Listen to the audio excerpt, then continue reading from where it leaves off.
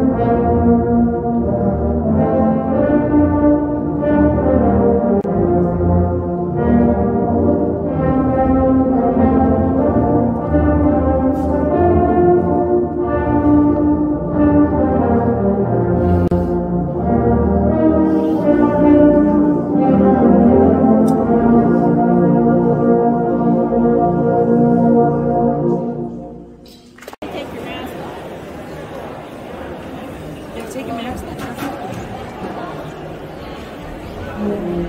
Yeah.